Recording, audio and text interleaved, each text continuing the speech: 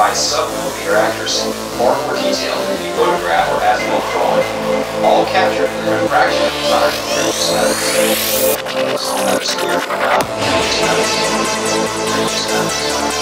of time